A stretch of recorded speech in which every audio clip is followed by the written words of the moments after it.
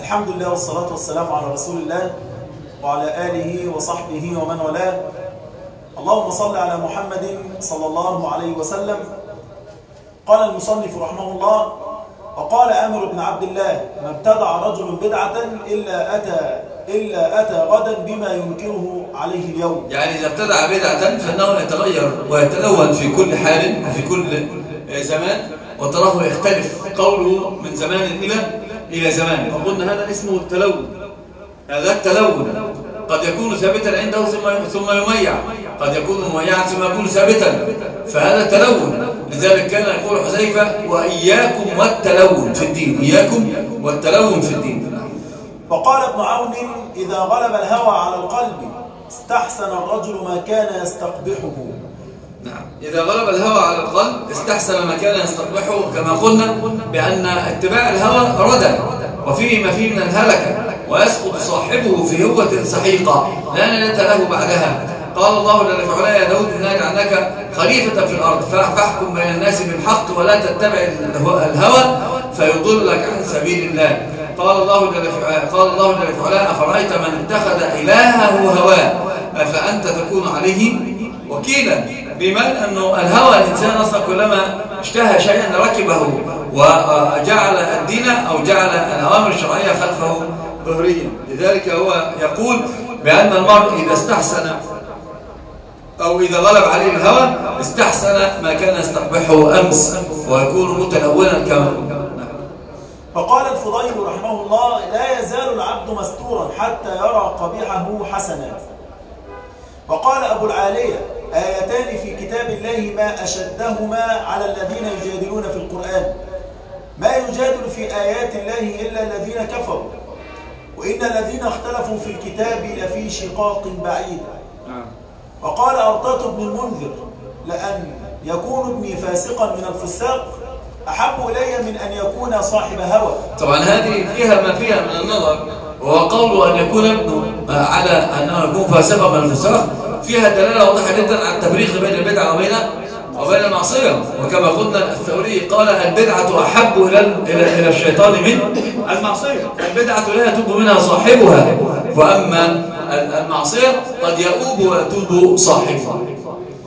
وقال أبو إسحاق الفزاري لأن أجلس إلى النصارى في في بيعهم أحب إلي من الجلوس في حلقة يتخاصم فيها الناس في دينهم. وهذه أيضا فيها دلالة واضحة جدا على مسألة المفاضلة. يعني هو يقول لو جلست إلى النصارى في بيعهم أحب إلي من الجلوس في حلقة يتخاصم فيها الناس في دينهم. وهنا فيها دلالة على أن يعني على أنه يجوز دخول بيع النصارى. وهذا راجح صحيح. بل يجوز الصلاة فيها. إن لم تعلق التصاوير لقول النبي صلى الله عليه وسلم جعلت لها الأرض مسجدا وطهورا. وقال سعيد بن جبير رضي الله رحمه الله لأن يصحب ابني فاسقا شاطرا سنيا أحب إلي من أن يصحب عابدا مبتدعا.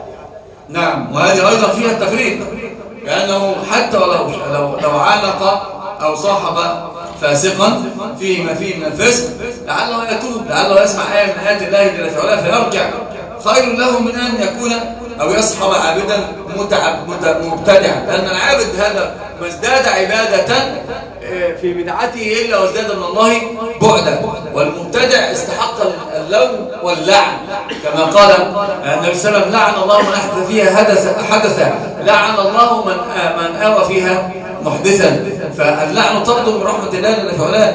لذلك هو يقول لنا ننأى بأولادنا ولو كانوا مع السراق أولى بنا أو أولى لنا من أن يجلسوا مع مع المبتدع لأن الجلوس مع المبتدع فيه بعد عن الله جل وعلا هو ابتدع واخترع في دين الله جل وعلا ولذلك قلنا بأنه الهلاك كل الهلاك مع الذي يبتدع وينصب نفسه ربا مشرعا لعباد الله. لذلك يقول الله تعالى أم لهم شركاء شرع لهم من الدين ما لم يأذن به الله وقيل لمالك بن مغول رأينا ابنك يلعب بالطيور قال حبذا إن شغلته عن صحبة مبتدع.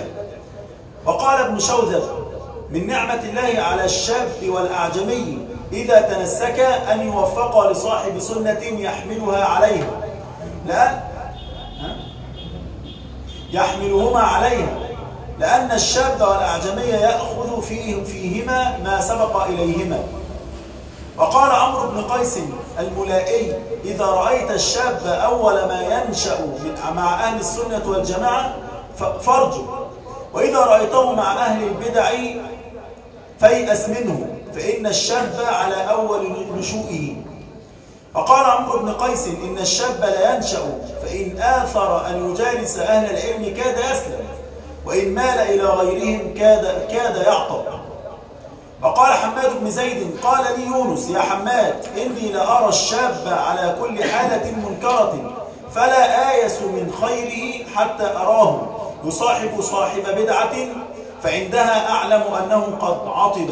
وانت لابد تعلم شوف أثار السلف كيف يذمون البدع ويبينون بأن الضلال كل الضلال في البدع ولا نجاة لصاحب بدعة. لذلك هو هنا يقول حتى أراه يصاحب صاحب بدعة فعندما فعندها أعلم أنه قد عطب. يعني هو وقع في العطب لأنه لو تأثرت البدعة في قلبه يستدل لها ويحارب عليها ويلي عنق النصوص من أجل من أجل هذه البدعة التي يتبناها ويدين الله بها. لذلك كما قلنا نعم ما قال الثوري البدعة أحب إلى الشيطان من من المعصية. المعصية يستغفر ويتوب. بعض الأثار أن إبليس كان, كان يقول قد أهلكتهم بالمعاصي فأهلكوني بكثرة الاستغفار. أما البدعة فلا صاحبها لا يستغفر منها. لما لأنه يعتقد بأنها بأنها الحق ويسير خلفها على أنه يسير خلف الحق. الحمد لله الذي عفانا مما ابتلى وقال الحسن رحمه الله ما ازداد صاحب بدعة عبادة إلا ازداد من الله بعدا. وقال ابن عون المجتهد في العبادة مع الهوى يتصل جهده بعذاب الآخرة. وقال الأوزاعي قال إبليس لأوليائه من أين تأتون بني آدم؟ فقالوا من كل. قال فهل تأتونهم من قبل الاستغفار؟ قالوا إن ذلك لشيء ما نطيقه إنهم لمقرون بالتوحيد. قال لآتينهم من باب لا يستغفرون الله منه. قال فبث فيهم الأهواء والبدع. وقال سعيد بن عنبسة ما ابتدع رجل بدعة إلا غل صدره على المسلمين واخترجت منه الأمانة. وقال الأوزاعي ما ابتدع رجل بدعة إلا سلب ورعه. وقال الحسن ما ابتدع رجل بدعة إلا تبرأ الإيمان منه. وقال ابن عون ما ابتدع رجل بدعة إلا أخذ الله منه الحياء. وركب فيه الجفاء. وقال عثمان بن حاضر الأزدي دخلت على ابن عباس فقلت أوصني. فقال عليك بالاستقامة اتبع ولا تبتدع وقال ابن مسعود رضي الله عنهما رضي الله عنه اتبعوا ولا تبتدعوا فقد كفيتم وكل محدثة بدعة وكل بدعة وكل بدعة ضلالة. وقال طلحة بن مصرف لا تحدث بكل ما سمعت. إلا أن يكون الذي حدثك على السنة. وقال أبو إدريس الخولاني لأن أرى في المسجد نارا تضطرم أحب إلي من أن أرى فيه بدعة لا تغير. وقال عطاء ما يكاد الله يأذن لصاحب بدعة بتوبة. وقال ابن عباس رضي الله عنهما من أقر باسم من أقر باسم من هذه الأسماء المحدثة فقد خلع ربقة الإسلام من عنقه. وقال ميمون بن مهران إياكم وكل اسم يسمى بغير الإسلام. وقال مالك بن أنس رحمه الله لم يكن شيء من هذه الأهواء على عهد النبي صلى الله عليه وسلم ولا أبي بكر ولا عمر ولا عثمان رضي الله عنه. وقال مالك بن مغول إذا تسمى الرجل بغير الإسلام والسنة فألحقه بأي دين شئت. وقال عطاء إن, إن, فيما إن فيما أنزل الله تبارك وتعالى على موسى عليه السلام لا تجالس أهل الأهواء فيحدثوا في, فيحدثوا في قلبك ما لم يكن. وقال أبو قلابة ما ابتدع قوم بدعة إلا استحلوا فيها السيف. وقال أبو قلابة في قول الله تعالى إن الذين اتخذوا العجل سينالهم غضب من ربهم من ربهم. وذلة في الحياة الدنيا وكذلك نجزي المفترين. قال أبو قلابة وهي جزاء كل مفتر إلى يوم القيامة. وقال أبو قلابة إن أهل الأهواء إن أهل الأهواء أهل ضلالة ولا أرى مصيرهم إلا إلى النار. فجربهم فليس أحد منهم ينتحل رأيا أو قال قولا فيتناهى دون السيف. وإن النفاق. وإن النفاق كان ضروبا ثم تلا ومنهم من عاهد الله ومنهم من يلمزك في الصدقات ومنهم الذين يؤذون النبي واختلف قولهم واجتمعوا في الشك والتكذيب وإن هؤلاء اختلف قولهم واجتمعوا في السيف ولا أرى مصيرهم إلا إلى النار وقال ابن عباس رضي الله عنهما من فارق. من فارق الجماعة شبرا فقد خلع ربقة الإسلام من عنقه. وقال محمد بن الحنفية لا تقوم الساعة حتى تكون خصوم خصومة الناس في ربهم. وقال عبد الله وقال عبد الله بن عمرو رضي الله عنهما يوشك أن تظهر شياطين مما أوثق سليمان بن داود عليه السلام يفتنون الناس. وقال عبد الله بن عمرو يوشك أن تظهر شياطين شياطين مما أوثق سليمان بن داود عليه السلام يفتنون الناس. وقال أيوب السختياني قال لي وقال أيوب السختياني قال لي أبو قلابة يا أيوب احفظ عني أربعا لا تقل في القرآن برأيك وإياك والقدر وإذا ذكر أصحاب رسول الله صلى الله عليه وسلم فأمسك. ولا تمكن أصحاب الأهواء من سمعك فينفذوا فيه ما شاءوا. وقال إبراهيم النخعي في قول الله تعالى وألقينا بينهم العداوة والبغضاء قال هم أصحاب الأهواء. وقال معاوية بن قرة الخصومات في الدين تمحق الأعمال. وقال يوسف بن أسباط النظر إلى صاحب بدعة يطفئ نور الحق من القلب. وقال بشر بن الحارث إذا كان طريقك على صاحب بدعة فغمض عينيك قبل أن تبلغ إليه. وقال أبو العباس الخطاب إذا خرجت من بيتك فلقي فلقياك صاحب بدعة فارجع فإن الشيطان محي... فإن الشياطين محيطة به. جزاكم الله خير تكلمنا عن البدع وأثر البدعة وضرر البدعة وكلام الإمام الشافعي في التقسيم إلى البدع الحسنة والبدع المذمومة وبيناه أمس وكلام أيضا عز بن عبد السلام. يبقى لنا مع تكلمنا على السنة التركية وأن الترك سنة. مسألة أخرى هم يتمسكون بها وهي مسألة عدم الإقرار بأن العبادات توقيفية. عدم الإقرار بأن العبادات توقيفية.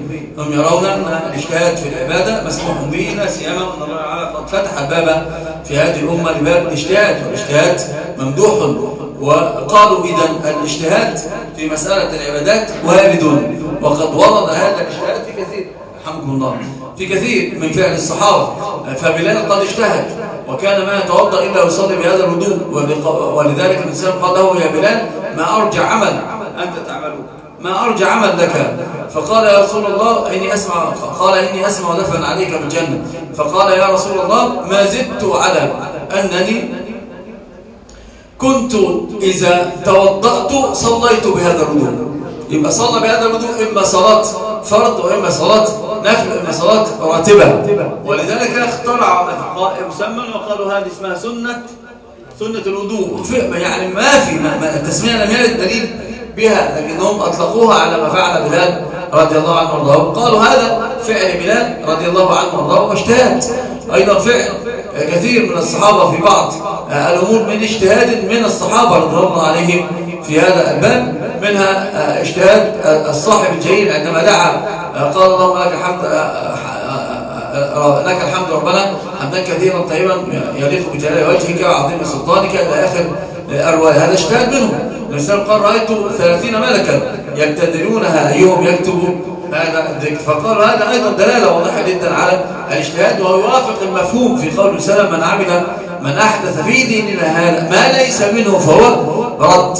قالوا ولذلك بلال قد فعل ذلك لكنه كان منه. ما كان من غيره كان منه.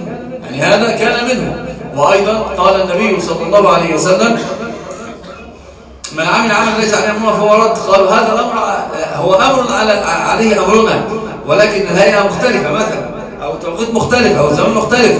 قالوا هذه فيها دلالة واضحة جدا على أنه ما كان من الدين وكان الاجتهاد فيه وله أصل عام فهذا لا يكون بدعة بحال من الأحوال.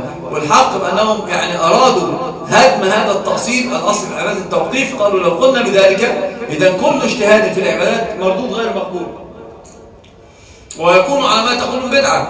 لكن الحق أنه يصح أن يجتهد المرء في ذلك واستدلوا عليه كما قلنا بفعل بلال وفعل الصاحب الجليل وفعل بعض الصحابة في بعض الأمور الاجتهادية في العبادة. ورد عليهم يسير وقد رد عليهم قبل ذلك وهو بأنه من يأتي بزمان كزمان الصحابة؟ يعني عندنا من الصحابة هناك الوحي يأتي يقر أو, أو ينكر. فهم لما اجتهدوا اجتهدوا للإقرار والإنكار. عندنا الدليل على الإقرار والإنكار لكن بعد زمان النبي صلى الله عليه وسلم وبعد ما استتم الأمر اليوم أكملت لكم دينكم وأتممت عليكم نعمتي ورضيت لكم الإسلام دينا. فإن أراد أن يجتهد زيادة أو نقصانا لا نجد ما يوافقه أو يخالفه. ولذلك الإنسان قال فمن فهدي سنتي فمن رغب عن سنتي فليس فليس مني. كما كان قد وقعوا في مثل هذه المسائل وردهم النبي صلى الله عليه وسلم. لكن بعدما موت النبي صلى الله عليه وسلم لا يكون كذلك. إذا المحل محل الاجتهاد وهو محل. زمان السنة فقط. هذا زمان. والصحابة كانوا لهم الأهلية التامة في فهم مراد الله وفهم مراد, رسول الله صلى الله عليه وسلم. لذلك يقال بأنه لا يجوز بحال من الأحوال الزيادة أو الاجتهاد في مسائل العبادات. الأصل في العبادات التوقيف. وما أتاكم الرسول فخذوه وما نهاكم عنه فانتهوا. وأيضا قول النبي صلى الله عليه وسلم هذه سنتي فمن رغب عن سنتي فليس فليس مني. هذه مسألة من الأهمية المكان ومسألة الاجتهاد. وهذا الاجتهاد كما قلنا الشرع جاء إما بالإقرار وإما بالإنكار وليس غير الصحابة مثل الصحابة. وما رأينا أحدا من التابعين قد اخترع عبادة أو اجتهد اجتهادا فغاير في هيئة العبادة أو الزمان أو المكان. لن نجد ذلك. بل كلهم كانوا يتبعون ولا يبتدعون وكلهم كانوا يعني يسحبون أنفسهم ينظرون أين ما كان عليه النبي صلى الله عليه وسلم أو ما كان عليه الصحابة فيعملون به. ثم ذكر بعد ذلك صفات للمنافقين أو للمبتدعة أن البدعة سبيل للنفاق. البدعة سبيل للنفاق. كيف؟ حاجة كيف البدعة سبيل للنفاق؟ عمر. شيخ التمكن الكذب والكذب من خصائص النفاق. يعني ماشي.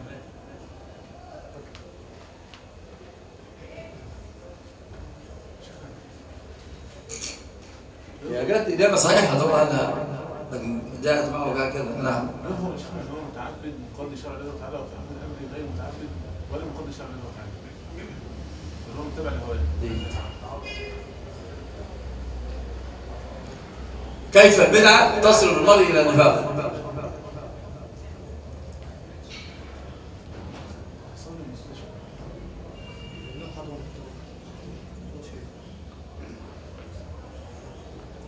ماشي. المنافق شيخ يقول خلاف المريض المبتدع كيف أظهر خلاف ما أبطل وين الدرس هي هتيجي من هنا إن شاء الله؟ بس أنا قلت الدرس صح. الهوى شيخ لأن عنه النصوص وهذا كذلك فهم المبتدع يفعل ذلك نصرة لدين الله ويرى أن هذه البدعة ليست بدعة بل هي أصل من أساس الدين.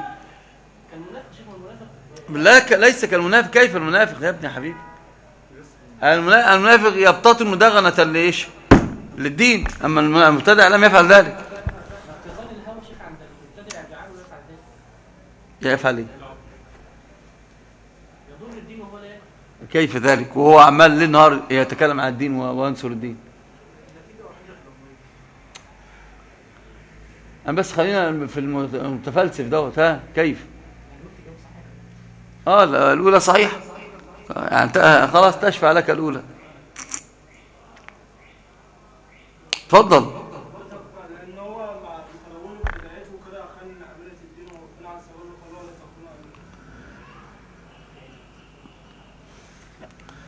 شديدة هذه.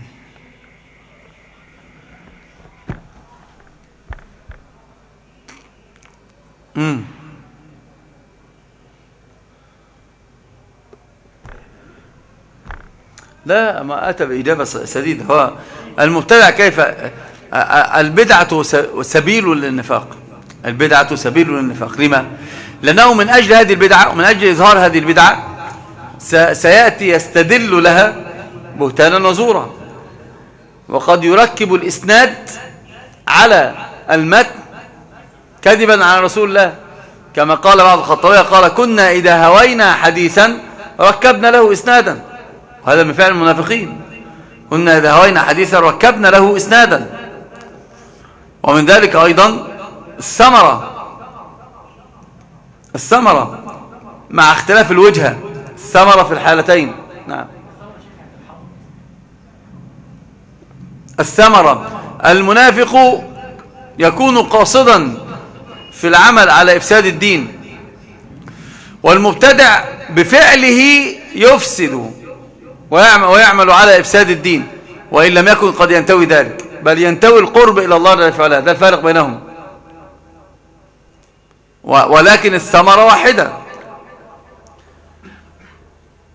أيضا من الصفات التي ذكرها المصنف للمبتدع أن أنه يحمل الدغل والغش لأهل السنة.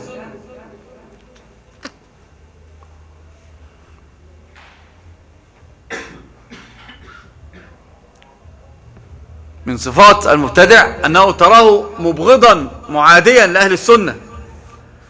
ولذلك قالوا من تكلم في حماد بن سلمة فاتهمه على الدين على الإسلام. وأيضا قال السلف من رأيته يتكلم في أبي نعيم فاتهمه على الإسلام. لما؟ لأنهم كانوا أشداء على أهل البدع. ومؤخرا من تكلم في شيخ الإسلام تيمية فاتهمه على الإسلام.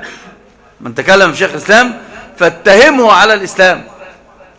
لأن هؤلاء القوم يعني قد حملوا الدين ووصل لنا غدا طريا طريا. وأيضا هؤلاء القوم هم الذين أصلوا وقعدوا القواعد التي يسير على نهجها. العلماء وفعل ابن تيمية لنصرة الدين معلوم غير مجهول. فلذلك نقول من يعني من صفات هؤلاء أهل البدع بأنهم يعادون أهل السنة والجماعة يحاربون أهل السنة والجماعة يحملون في قلوبهم الدغل والحقد والحسد. ولذلك لا يمكن أن ترى منهم رجلا ناصحا أمينا لأحد من أهل السنة والجماعة.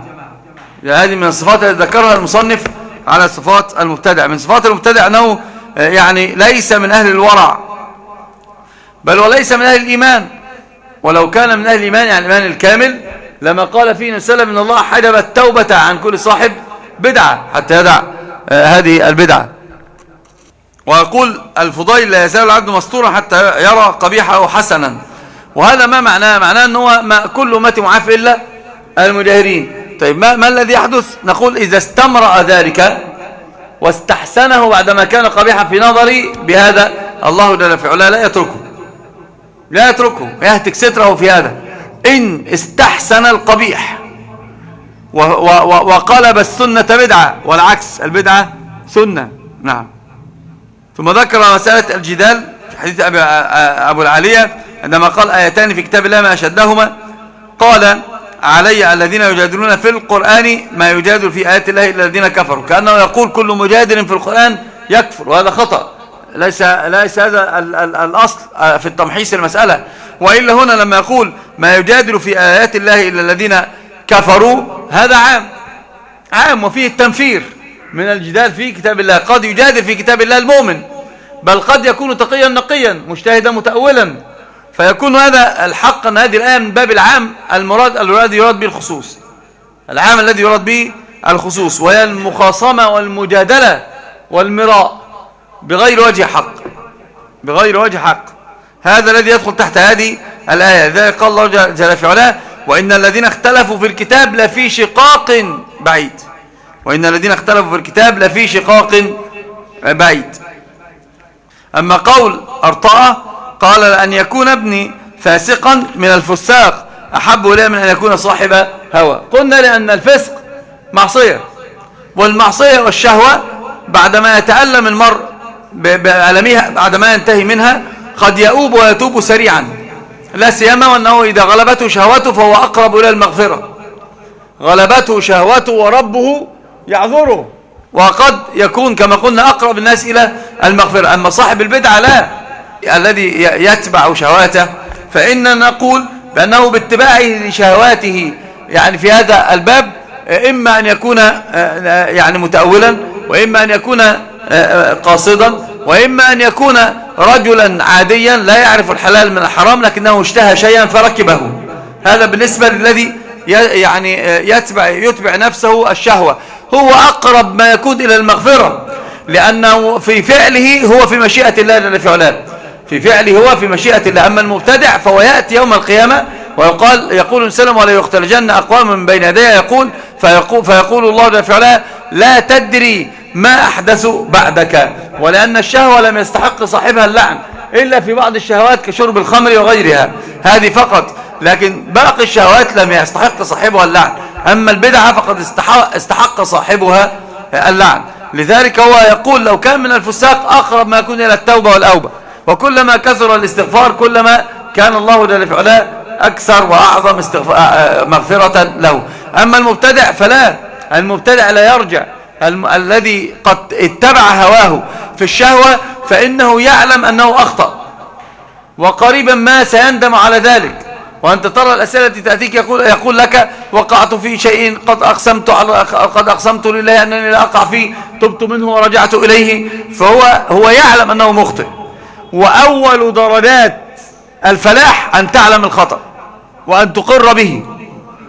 كلما أغفلت الخطأ ولم تقر به لا يمكن أن ترجع عنه أبدا. فأول درجات الرجوع هو أن تقر بالخطأ. ولذلك ليس النبيل الذي لا يخطئ ولكن النبيل الذي إذا رجع يرجع وإذا علم خطأه استغفر وأتاب وأناب. أما صاحب البدعة فلا صاحب البدعة البدعة لا يزداد إلا تأصيلا وتقعيدا. لهذه البدعة ولا يزداد إلا تمسكا بها. وأيضا صاحب ال ال ال ال الشهوة فإنه لا ينصب نفسه مشرعا مع الله. وأما المبتدع فقد نصب نفسه مشرعا مع الله. أم لهم شركاء شرعوا لهم من الدين ما لم يأذن به الله ما لم يأذن. أما المشتهي فلا هي شهوة يتبعها وينتهي الأمر. ولذة الشهوة تنتهي ويعقبها ال ال المرارة ويعقبها الألم والندم. فكلما كان أشد ندما كلما كان أكبر أقرب إلى المغفرة. لكن لا تجد صاحب البدعة لا تجده نادما بل تجده فرحا مسرورا بهذه البدعة وتجده مبينا لها بالتأصيل والتقعيد والمناظرة والمحاجدة ويقول هو الحق هو الحق ويتصلب عليه ويظهره للناس أنه الحق. هذه فتنة في الدين. لأن البدعة تطمس السنن فعندما يجعلها حقا فقد كانت فقد تصير وتنقلب السنة إلى باطل. قلب الأحوال. جعل البدعة سنة وجعل السنة بدعة. وهذا آخر آخر الزمان في هذا الباب بأن بقول السلام بين يدي الساعة سنون خداعة يصدق فيها الكاذب ويكذب فيها. الصادق ويتم القول وقول الأمين. كما قام أحدهم يتكلم في البخاري وفي غير البخاري ويأتي بأقوال العلماء يجعلها كأنها قرآنا. كأن كأنها كأنها قرآنا. فيقرأها على أو, أو يقول ينقل أقوال أهل العلم على أنها الجزم بها والأخذ بها. مع ذلك في قول السلام يقول لنا الأخذ والرد. فهومنا تتغير. فهومنا تختلف. وليس لأحد سلطان على على عقولنا.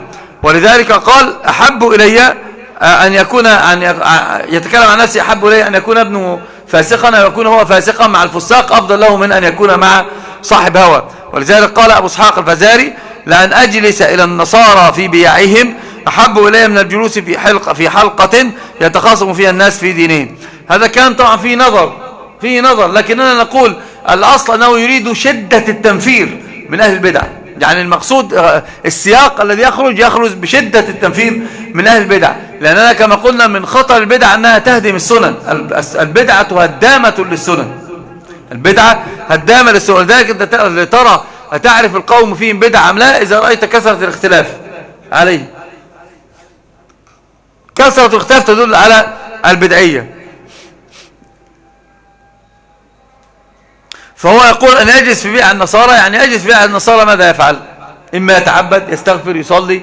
لا هو يقول أنا لو جلستهم هؤلاء النصارى أرحم علي. يقول أحب إلي من الجلوس في حلقة يتخاصم فيها الناس في دينهم لأمرين اثنين. الأمر الأول لأنه لما يجلس مع النصارى هو يعلم حال النصارى وهو مستيقن من هذا فلن يفتن. فإذا جلس مع هؤلاء أهل البدع والأهواء قد تدخل الشبهة من الأذن سريعا إلى القلب فلا يلتفت. لا يستطيع رد ذلك. فيقع هو في البدعة. لذلك قال أنا أسلم أسلم عندما أتخذ حذري من هذا. أنا علمت أن هذا ليس بمسلم أن هذا فيه ما فيه من الكفر فأنا أحتاط لنفسي. أما الآخر يتسمى باسم الإسلام يتزايب زي الإسلام بل يتصدى للناس على أنه من علماء الإسلام. فهذه الفتنة به أكبر الفتنة به أكبر. لذلك قال في حلقة هو أحب إليه من الجوز في حلقة يتخاصم فيه الناس. أو يتخاصم فيه الناس في دينهم. وال- والخصومة هنا في الدين والخصومة في دينهم معناهم أنهم يضربون يضربون الأحكام بعضها ببعض كما يضربون كتاب الله تعالى بعضه ببعض. قال سعيد بن جبير لأن يصحب ابني فاسقا شاطرا. الشاطر يعني هو الحق أنه السارق. شاطر شيئا أحب إلي من أن يصحب عابدا مبتدعا. شوف انظر يعني يكون حظه أن يكون من صحابه من, من, من أصحابه أن يكون فاسقا وأن يكون شاطرا أن يكون سارقا أحب إليه من البدع. كما قلنا الأصل الذي يدور عليه أنه ما دام قد علم أنها معصية فإنه في الحالات بأسرها يتوب ويؤوب إلى ربه جل في علاه. أما في البدعة هو الذي قد زين الله عمله فحسب أنه أتى حقا ويحسبون أنهم يحسنون صنعا. ولما قيل لمالك بن مغول رأينا ابنك يلعب بالطيور؟ قال حبذا إن, شغلت إن شغلته عن صحبة المبتدع يلعب بالحمام يلعب بالطيور. طبعا لما يقول لعب بالطيور هنا؟ معصية صح؟ معصية؟ كفر؟ ما ليش قلت من خوارم المروءة. هي كانت في زمنين من خوارم المروءة. لذلك هم يقولون الذي يأتي بحمام يطيره ويبحث وينظر إليه فهذا ما, ما هذا فيه سفة. أنت الآن, الآن, الآن مش بيطيره ده هو بيطير وراه. فهم يقولون أنه لو فعل ذلك لو فعل ذلك لو فعل ذلك هذا هذه هذه من خوارم المروءة. فهو يقول يفعل خوارم المروءة أحب له من أن يصاحب مبتدعا. سيوقع في قلبه شبهة فيضيع. ويحسبون أنهم يحسنون صنعا. وأشد الناس عقابا يوم القيامة المبتدع. وطبعا أشدهم عقابا في الدنيا المبتدع. لما؟ لأنه اتفقت الكلمة على أن المبتدع يهجر. وإن كان في زماننا المسألة لا تطبق التطبيق الصحيح. في هذا الباب يهجر. يعني طبعا هو يعني يهجر لهم يعني قل بأنهم يغلب على ظنهم أنه سيرجع ويتوب ويؤوب لكن في زماننا هذا هو اللي بيهجر مش أنت اللي بتهجر. يعني هو الذي يهجرك ويراك, ويراك منحرفا ويراك كافرا أو يراك فاسقا المهم أنه يراك منحرفا. فهو الذي يهجرك لا أنت الذي تهجره. فأنت تحتاج إلى أن تدعوه إلى الله جل في علا في, في علاه لما قيل له ابنك يلعب بالطيور قال ما فيها شيء. الحمد لله المهم أنه, لا, لا يصاحب مبتدعا. وفي قول عمرو بن قيس إذا رأيت الشاب أول ما ما ينشأ مع أهل الشام مع أهل السنة والجماعة فرجه. وإذا رأيته مع أهل البدعة فيأس منه. فإن الشاب أولى أن فإن الشاب على أوله نشوء وهي كما يقولون عندنا في المثل من شاب على شيء من شاب على شيء شاب شاب عليه. فهو يقول انظر إلى الشاب إن رأيته صاحب أهل السنة فارجو الخير منه. وإن وجدته قد صاحب أهل البدعة فيأس عنه. وهذه كما قلنا أنه في بداية الطلب الإنسان لابد أن يدعو الله تعالى أن يوفق الله لرجل من أهل السنة. لأنه أهل السنة على الأقل سيركز له في عقيدة أهل السنة والجماعة ولا يكون متذبذبا في هذه العقيدة.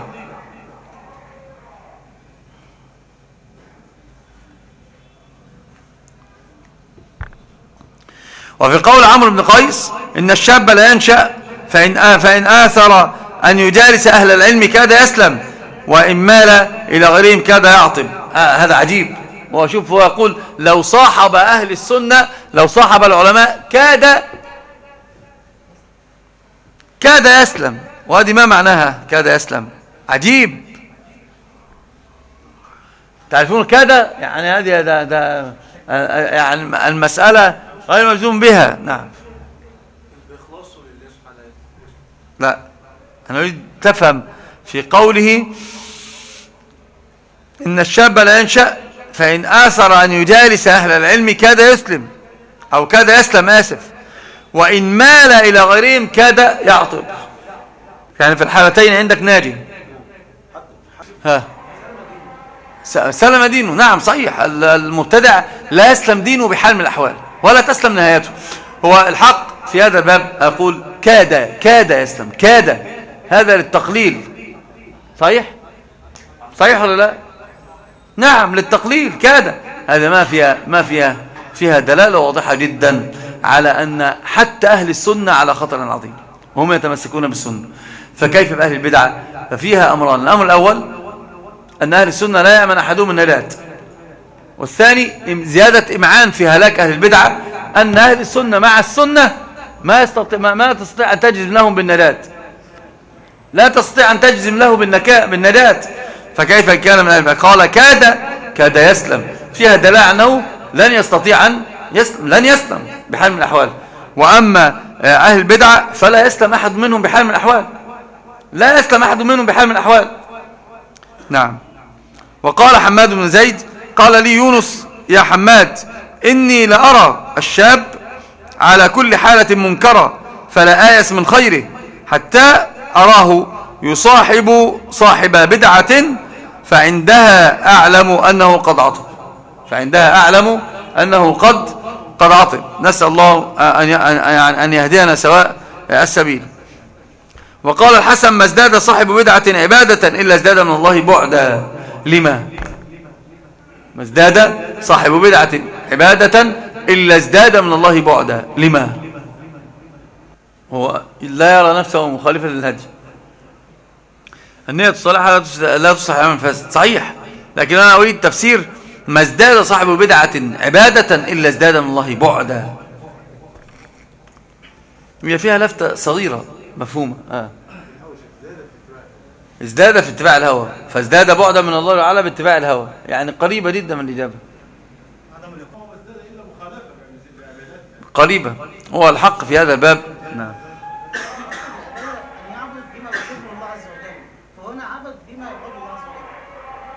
نعم كلها إجابة قريبة كلها إجابة تقترب. هو الحق أولا لنا أمور. ازداد صاحب البدعة ما ازداد صاحب البدعة عبادة إلا ازداد من الله بعدا. لأنه إذا ازداد عبادة كلما أنشأ عبادة أنشأ غيرها. فتكاثرت البدع. يعني هنا الآن لم تكن بدعة واحدة لأنه في, في هذا يجتهد ويجتهد فيزيد في البدعة وزيادة البدع زيادة في هدم إيش؟ السنن. يعني مسألة يسيرة جدا. الأمر الثاني الأهم من هذا أنه ما ازداد عبادة إلا ازداد بعدا لأنه ما ازداد عبادة إلا وهو نصب نفسه مشرعا مع الله جل في علاه ما ازداد هو ازداد من البعد ازداد بعدا من الله جل في علاه لأنه ينازع الله في الربوبية. ينازع الله في الربوبية. فهو كلما ازداد عبادة على البدعة كلما أصر على تنصيب نفسه ربا. وهو ليس بذلك. إحنا قلنا بأن هذا لازم وهو لا يقبل. هو نفسه لا يقبل هذا اللازم. لكن الحق بأن المبتدع قد نصب نفسه مشرعا مع الله جل في علاه ولأن الله قال أم لهم, أم لهم شركاء.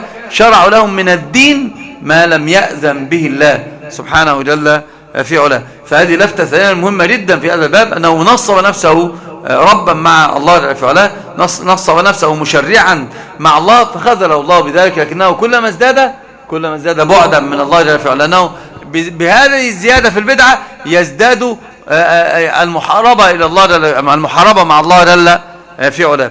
وقال ابن عون المجتهد في العبادة مع الهوى يتصل جهده بعذاب الآخرة. المجتهد في العبادة مع الهوى وهو اجتهد مع الهوى. قال يتصل ج- يتصل جهده بعذاب الآخرة. الله المستعان.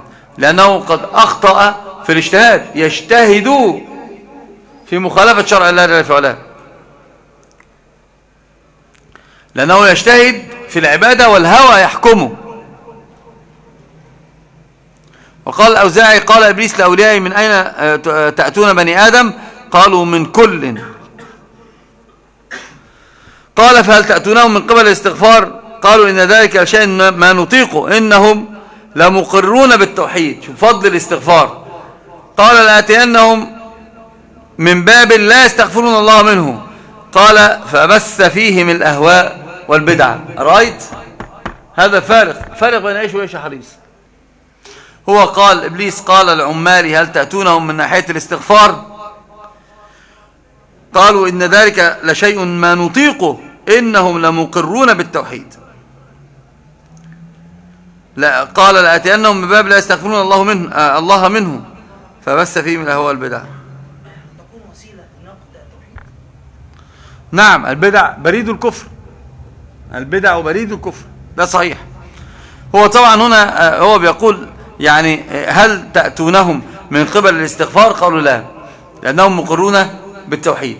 وهذا الذي كنت أريد أن أن يلمح أحد منكم فيها البدعة مجانبة للتوحيد. والله كنت هقول البدعة مجانبة للتوحيد. هذه أهم شيء. المهم أن البدعة مجانبة للتوحيد. تفصم هذا انتظام السلسلة في التوحيد لا ينتظم مع وجود البدع وقول سعيد بن عنبسة قال ما ابتدع رجل بدعة إلا غل صدره على المسلمين. وأيضا اختلجت منه الأمانة. فيه أمران. الأمر الأول أنه بالبدعة يحمل على المسلمين. يكون في قلبه الدغل والحقد والحسد على أهل الإسلام. لكن لما؟ لما المبتدع ما نراه إلا يحمل ال- ال- الضغينة والبغض وأيضا الدغل على المسلم. لما؟ قال واختلجت منه الأمانة. الأولى أنه يحمل, يحمل هذه الضغينة والدغل على قلوب أهل السنة. لما؟ أنا بسأل لما؟ لما؟ ما, ما, ما, ما الوازع. لما يحمل الضغينة والدغل على على أهل السنة والجماعة؟ نعم. جيد. هذا الظاهر أنه بما خالف بدعتهم. ها. إيش هذا؟ الآن أقول هو المبتدع يحمل غلا على قلب ال- المؤمن. لما؟ فقط. لما؟ طيب آه، الحكمة العلة. إلا غل صدره على المسلمين.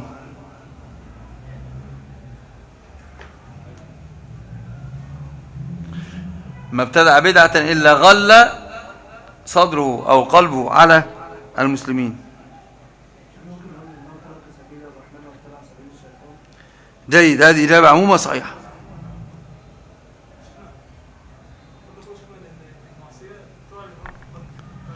المعصية ماذا؟ لا هذه أنا بقول ما ابتدع رجل بدعة إلا غل غل قلبه وصدره على المسلمين. واختلجت منه الأمانة. آنفا قلت إن أهل البدع فيهم إيش؟ نفاق. والمنافق من أهم صفاته أنه ه- ه- لا هذه الثانية. يا أنت ما تفهم يا عم هتموتني. المسألة أسهل ما تكون خلاص بعد ما أتينا بها كمان مش عارف تجيبها. أنه, أنه يحمل الغل على على قلوب المسلمين. أنه يريد ضرر الإسلام. فالمنافق فيه نوع نفاق. والمنا... فالمبتدع فيه نوع نفاق. والمنافق يحمل الغل والدغل على أهل الإسلام على أهل السنة بالذات إلا غل صدره على المسلمين.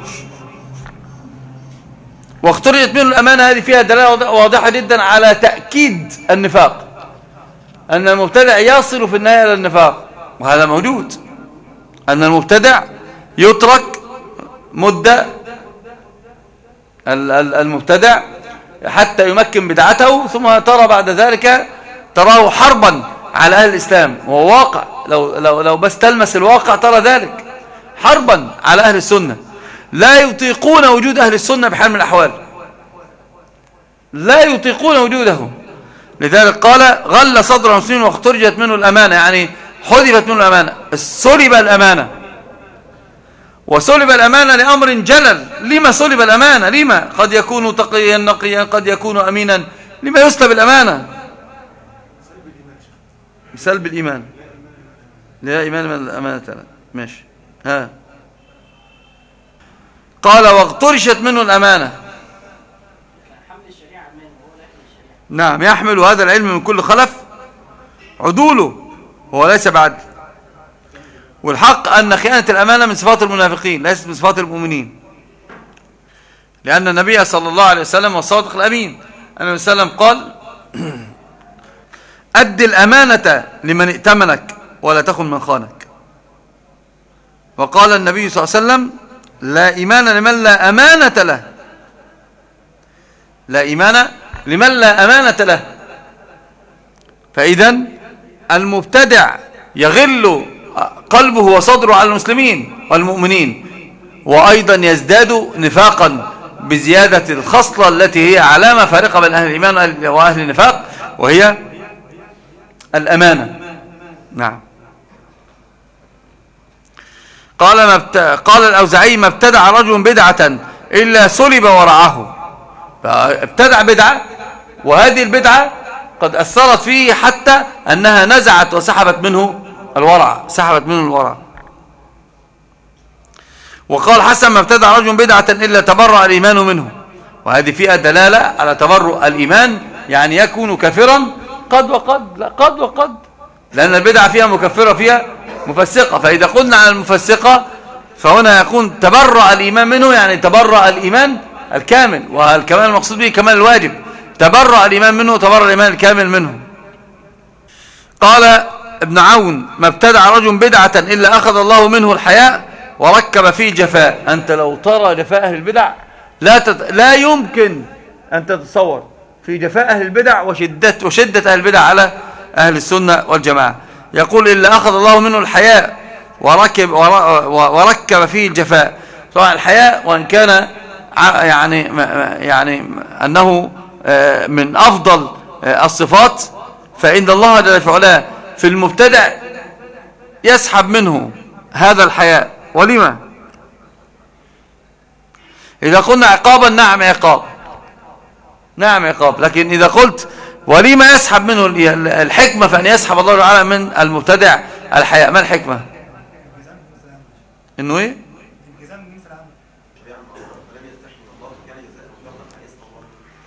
جيد.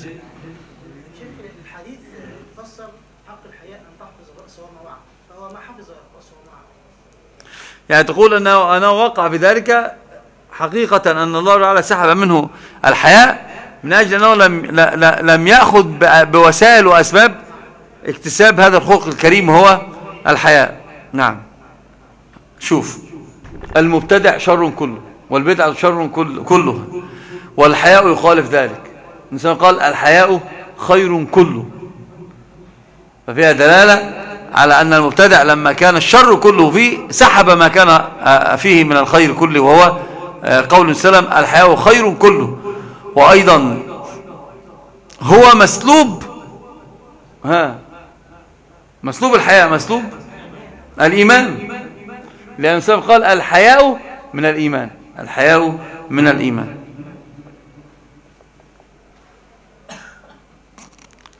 وسئل ابن عباس فقال أوصني فقال عليك بالاستقامة اتبع ولا تبتدع. وهذه أثار ستأتيك سردا كلها تأمر بالاتباع وترك وترك الابتداع. قال اتبع ولا تبتدع يعني اتبع سبيل من سبق ولا تبتدع ولا تخترع شيئا جديدا. وقال ابن مسعود اتبعوا ولا تبتدعوا فقد كفيتم وكل محدثة بدعة وكل بدعة ضلالة. لابد أن ألفت الانتباه لشيء قبل أن يعني آه، لا أتعجل عليه. هو قول الصحابة رضي الله عليهم جميعا اتبعوا ولا تبتدعوا في قول ابن عمر وقول ابن عباس وقول ابن مسعود رضوان الله عليهم يقصدون اتبعوا اتبعوا صحابة رسول الله. يعني بعد اتباع النبي صلى الله عليه وسلم انهم كانوا يرون بأن الجزم في اتباع اتباع النبي صلى الله عليه وسلم. هم يقولون اتبعوا ولا تبتدعوا يعني على صحابة رسول الله. وهذا الذي قاله ابن مسعود. ما زال أصحاب محمد صلى الله عليه وسلم ما بليت آه، ثيابهم. فهو اتباع اتباع الصحابة. وهذه فيها دلالة واضحة جدا على سنية اتباع الصحابة لأنهم كانوا أحرص الناس على السنة على السنة. هم اعرف آه، آه، وهم أعلم الناس بمراد النبي صلى الله عليه وسلم وهم أقرب الناس إلى النبي صلى الله عليه وسلم وشمس النبوة. لذلك في قول آه، ابن عباس اتبع ولا تبتدع اتبع ولا تبتدع ولا ت- تبتدعوا فهذا على على يعني المقصد المقصد الأسمى فيهم هم صحابة رسول الله صلى الله عليه وسلم. لأن الحديث حديث للتابعين. وهم يعلمون أن التابعين من أعظم الناس أيضا تمسكا بسنة النبي صلى الله عليه وسلم. لذلك قال ابن مسعود اتبعوا ولا تبتدعوا فقد كفيتم. كفاكم الله الهموم. فقد كفيتم وكل محدثة بدعة وكل بدعة ضلالة. وهذه رواية صريحة صحيحة بأن ال- ال- التقسيم تقسيم البدعة تقسيم البدعة إلى ممدوحة ومذمومة تقسيم مذموم. لأن النبي صلى الله عليه وسلم قال كل محدثة بدعة وكل بدعة ضلالة. وقال طلحة بن مصرف لا تحدث بكل ما سمعت إلا أن يكون الذي حدثك على السنة. يبقى لا تثق بكلام أحد إلا من تمسك بالسنة. وقال أبو دريس لأن أرى في المسجد نارا تضطرم أحب إلي من أن أرى فيها بدعة أو آه، آه، لا تغير. فانظر ويقول لأن أرى في المسجد نا- نارا خير لي من أن أرى فيها بدعة لا تغير. يعني هي كما يقولون البدعة أشد من النيران بل هي من النيران لأنها تأكل السنن. هي تأكل السنن والبدعة هدامة للسنن. وقال عطاء ما يكاد الله يأذن لصاحب بدعة بتوبة. ما كاد الله جل وعلا يأذن لصاحب بدعة بتوبة. فهمها بعضهم فهما مغلوطا. أن الله جل في علاه أغلق التوبة على المبتدع لا. لا. قد قال السلام عموما آه، بأن ال- ال- التوبة للمرء معروضة إلى أن يغرغر. أو قال حتى تشرق الشمس من من مغربها.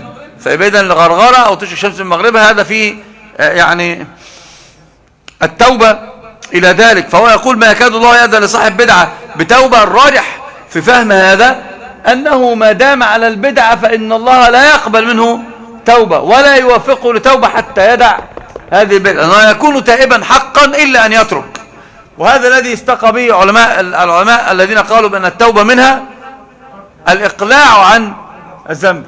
فهو يقول هنا الآن أن صاحب البدعة يعني لا يستغفر الله له حتى يدع بدعته ولا يقبل توبته حتى يدع بدعته.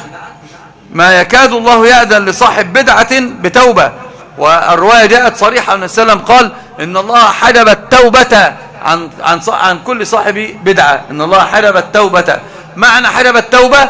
أن الله جل وعلا لم يأجر أن الله جل وعلا لم يتب حتى يدع صاحب البدعة هذه البدعة. وقد قال ابن عباس من أقر باسم من هذه الأسماء المحدثة فقد خلع ربقة الإسلام في عنقه. وهذا الكلام ابن عباس يحتاج إلى تفصيل. هو الأصل في هذه المسألة.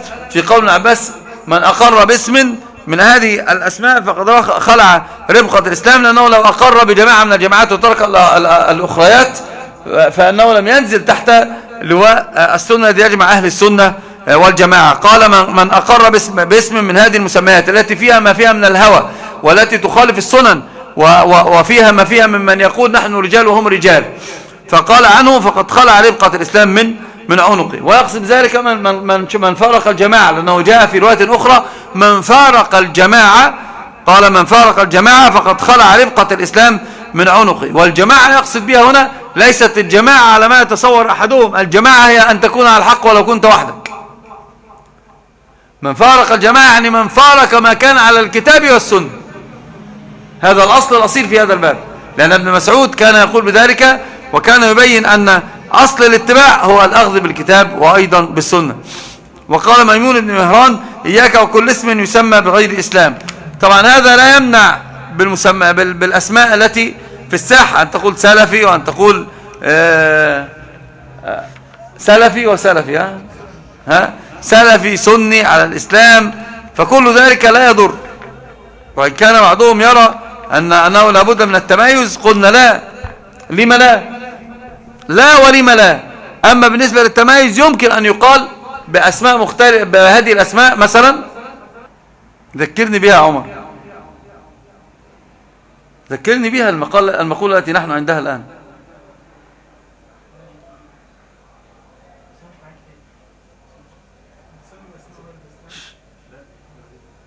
ها؟ وهي؟ قلت أنا ولم لا؟ لا ولم لا. كيف ذلك؟ هذا جمع بين نقيدين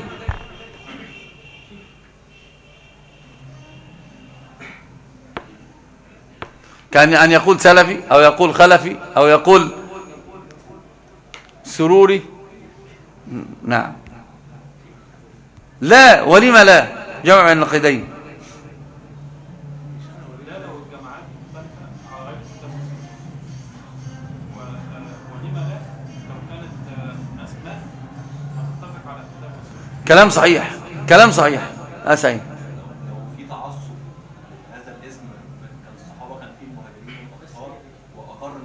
الله عليه وسلم ذلك. لأن التسمية في ذاتها وتنوع التسمية ليس فيها ثم شيء ما دام المسمى واحد. ما دام يلتفون حول أمر واحد جلل وهو الكتاب والسنة. ولذلك الم- آه، ما زال المهاجرون مهاجرون صحيح أو مهاجرين. ما زال الأنصار وأنصار ومع ذلك النبي صلى الله عليه وسلم أنكر على المهاجرين والأنصار. عندما اختلف الأمر في التنازع والاختلاف عندما صفع أحدهم أو كسع أحدهم الآخر فقال المهاجري يا للمهاجرين وقال الأنصاري يا للأنصار فقال وسلم دعوها فإنها منتنة. يبقى هنا التسميات المسميات المختلفة إذا أدت إلى التنازع والفشل فهذا الذي لا يجوز. ولا تنازعوا فتفشلوا وتذهب ريحكم ولا تكونوا الذين تفرقوا واختلفوا من بعد ما جاءهم البينات. أما إذا كانت الأسماء هذه والكل ينزل تحت مسمى واحد غير مختلف فلا شيء على ذلك. لا مشاح. المهاجرون والمهاجرون والأنصار. نعم. لكن عندما حدث التنازع قال النبي صلى الله عليه وسلم دعوها فإنها منتنة. بدعوى الجاهلية وأنا بين أظهركم.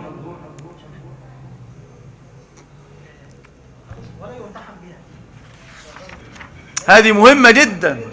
مهمة جدا في مسألة الامتحان بهذه الأسماء. أصلا آه، ابن تيمية يقول امتحان الناس بشخص أو باسم هذه من البدع. هذا من فعل أهل الاعتزال. هذا فعل المعتزلة. فعل المعتزلة وهذا يقول من وافقنا فهو معنا ومن خالفنا فهو علينا. نعم. ه- هذا ليس ليس كذا كهذا. هذا على السنة كما يمتحنون بحماد بن سلمة وبأحمد بن حنبل لأنه تمسك بالسنة وعلى بها. هذه غير تلك. الامتحان ببعض الأسماء من للتعصب لها هذا الذي من فعل أهل الاعتزال؟ فإذا يقول ابن تيمية يقول الامتحان أو اختبار الناس بشخص أو باسم من المسميات هذا من فعل أهل البدع ليس من فعل, من فعل أهل السنة والجماعة.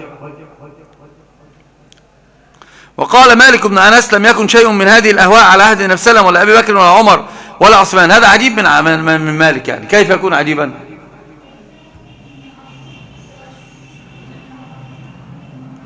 مالك يقول لم يكن شيء من هذه الأهواء على عهد النبي صلى الله عليه وسلم ولا أبي بكر ولا عمر ولا عثمان. عجيب من مالك. ممتاز هو نايم. هو لم يذكر علي بن أبي طالب. وقلت عجيب من مالك أنه لا يذكر علي بن أبي طالب. هو صراحة كان ممن ينكر جهارا ما حدث بين عثمان وبين وبين علي. ونقل عنه بعض الكلمات التي تطوى ولا تروى. والصحيح أننا نقول تكملة لكلام مالك أننا نقول لم يكن على عهد النبي صلى الله عليه وسلم ولا أبي بكر ولا عمر وعثمان وعلي لأن النبي صلى الله عليه وسلم قال عندما قال وإنه من يعش منكم فسيرى اختلافا كثيرا. فكان سائلا يسأل يقول وكيف النجاة؟ قال عليكم بسنتي. وسنة الخلفاء الراشدين المهديين من بعد عضوا عليها بالنواجذ. عضوا عليها إذا هو قال سيكون الاختلاف. وهذا الاختلاف المرد فيه إلى المخلفاء الأربعة مع النبي صلى الله عليه وسلم. لكن هنا أيضا فيها دلالة واضحة جدا على أن الصحيح عدم الحيد عن طريق هؤلاء. النجاة في طريق هؤلاء النبي ومن خلفه من الخلفاء الراشدين الراشد- الراشدين ال- أو الخلفاء الخلفاء الذين قال فيهم السلام بعد خلافة على منهاج النبوة ورحمة. وفيها عثمان وعلي وأيضا أبو بكر وعمر. وهذا يدلك على ما قاله آه، مالك وهو يتقن ذلك يقول لا يصلح آخر هذه الأمة إلا بما صلح به أولها وهذه النجاة يقولون تريدون أن تردون إلى إلى أمور كانت على الجبال والرمال ونعم نقول بذلك. إيش فيها؟ هذا دين الله الرفع. التعبد لله جل لا يتلون لا يتغير بالتغير حتى لو على القبر لو في المريخ لو في السحاب لا يكون التعبد إلا بهذا. أنت لو في السحاب وفي السحاب تستطيع أن تسجد لابد أن تسجد صلاة لصلاة لتق- لتقبل صلاتك. فهذه ثوابت لا تتغير. أم ولذلك العلماء يقولون الأحكام ثابتة والفتاوى هي التي تتغير. والمسائل الاجتهادية نعم التغير فيها تغير حال لحال الزمان والمكان.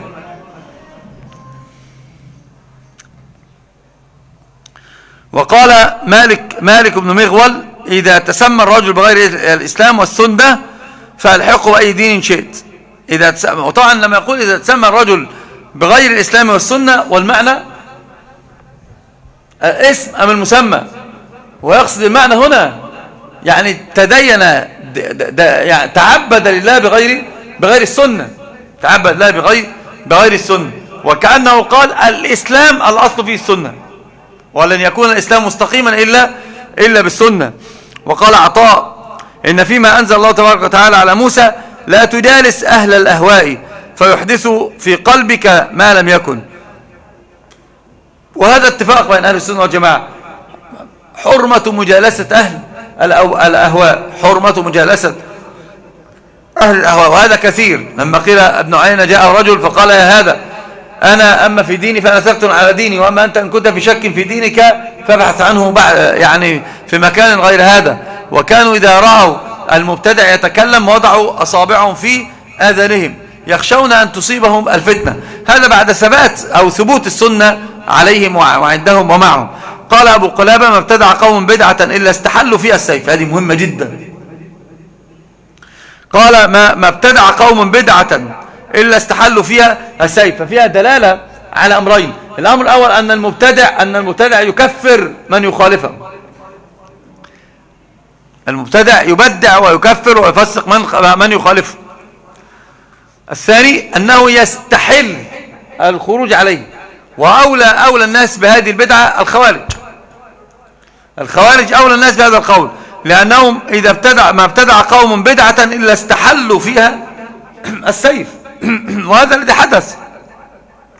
بالجرأة الكبيرة التي قد تجرأوا بها بالخروج على عثمان أولا ثم قتل عثمان قتلا صابرا محتسبا ثم بعد ذلك الخروج على علي بن أبي طالب ثم قتل علي بن أبي طالب والخروج على معاوية فما زال الخروج إلى يوم الناس هذا. فهؤلاء أضل الناس فكرا فهم أضل الناس فكرا. لذلك قال ما ابتدع قوم بدع إلا استحلوا السيف ففيها دلالة على أنهم يقاتلون هذه ال ال ال ال على هذه البدع التي يبتدعونها ويجعلونها دينا يدينون الله بها.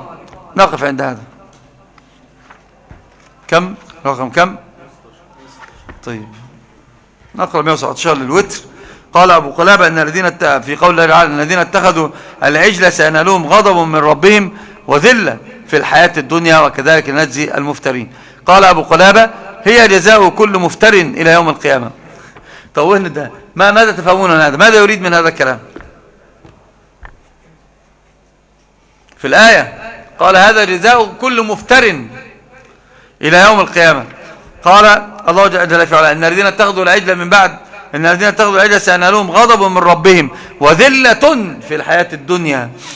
وكذلك نجزي المفترين. يقول أبو قلابة وهذا جزاء كل مفتر يوم القيامة. وهذا صحيح لا يخترجن أقوام من بين يدي هذه ذلة وصغار ولا كرامة. والذلة والصغار أشد متى؟ على الآخرة قلت في قول سلم ولا يختلجن أقوام من بين يدي؟ هذا صغار صحيح وذلة. ويكون وتكون الذلة والصغار أشد متى؟ في النار. يوم ما أدري. ما ما أدري. ها قل. يا نايم استيقظ ها؟ نعم عندما يقول السلام سحقا سحقا لمن بدل بعدي. بعد النبي صلى الله عليه وسلم الآن هو الآن هو يقر بالذلة والصغار عليهم يقول سحقا سحقا بعدا بعدا لمن بدل. بعد ترى هنا العداوة الشيطانية من النبي عليه. لما؟ لأن في فعلهم كما قلنا قبل ذلك أنه اتهام للنبي صلى الله عليه وسلم بالتقصير. واتهام للمشرع بعدم كمال التشريع. وقد قال اليوم أتممت لكم دينكم وأكملت لكم دينكم وأتممت عليكم نعمتي ورضيت لكم الإسلام دينا. نعم. إن الذين كفروا. هو طبعا كفر نعمة هذا. أول البدعة المكفرة. أهل العجل بدلوا شريعة موسى. نعم هذه صحيح صحيح جزاك الله خير. والمبتدأ يفعل ذلك. ممتاز. نعم. جزاكم الله خيرا. أقول قولي هذا وأستغفر الله لي ولكم. سبحانك اللهم ربنا وبحمدك. أشهد أن لا إله إلا أنت. أستغفرك وأتوب إليك.